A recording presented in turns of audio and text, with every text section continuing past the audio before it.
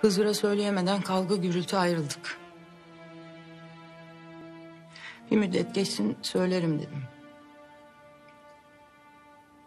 Sonra Meryem'le nişanlandığınızı duydum.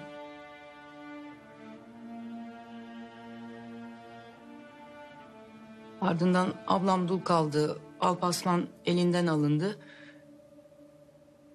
Ben de oğlumdan ayrı kalmak istemedim. Peki bunca zaman nasıl sakladın? Meryem anne. Ben tabii biraz babasız kalınca hırçındım.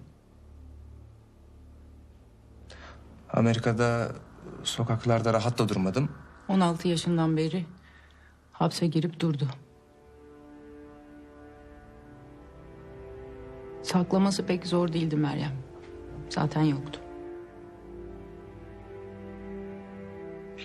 Suç neydi yeğenim? Neyse ne enişte sana ne? Ya yüz kızartıcı bir suç mu değil mi onu öğrenmeye çalışıyorum İlyas'ım. Babasıyla amcaları gibi diyelim. Oğlunuzu ye. Ya da Yıldır. Hiç bilmediğim. Seninle bir alakası yok oğlum. Hepsini geçtik.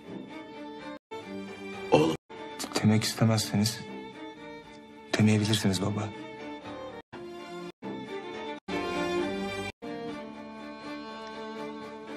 hapisteydi. vay arkadaş ya. Annen olarak. Yıllardır etmedi. Babaannemin Ana şimdi senin sıran. İki tane ana var ortada da. Bırak da ne yapacaklarına karar versinler. Ne edecekler? Seni Meryem beni de Ceylan mı vuracak? Olan olmuş da. Hangi bilir? Ben kucağımdaki sorunla uğraşamıyorum. Baş edemiyorum. Şimdi Ceylan karşıma çıkmış. Kucağıma asla uğraşamayacağım bir sorun daha bırakıyor.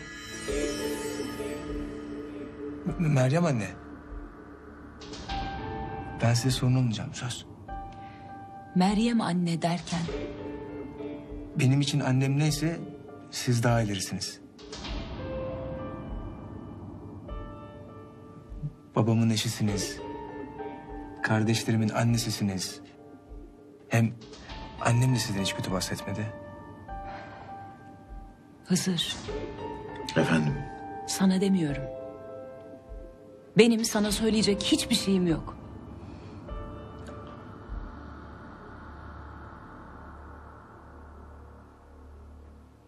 Hızır Ali. Müsaade et. Biz bunları bir sindirelim. Çok tatlısın. Belli ki bu ailenin gerçeğisin. Ama benim bunları kabullenebilmem senin babanın çocuk yapabilme süresinden biraz fazla. En azından annenin bunları saklama süresi kadar sürmez. Umarım.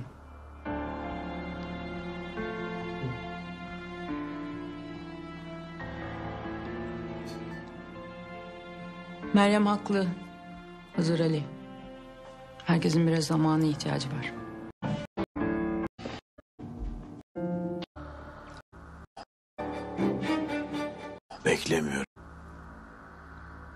Ama senin bu Ama çocuğa ters bir şey söylemediğin için teşekkür ederim.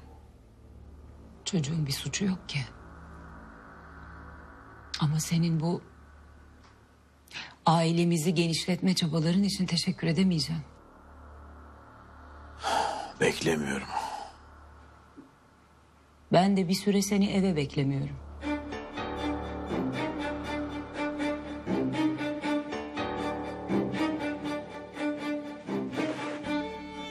Bu süre içinde üç beş çocuk daha yapmazsan çok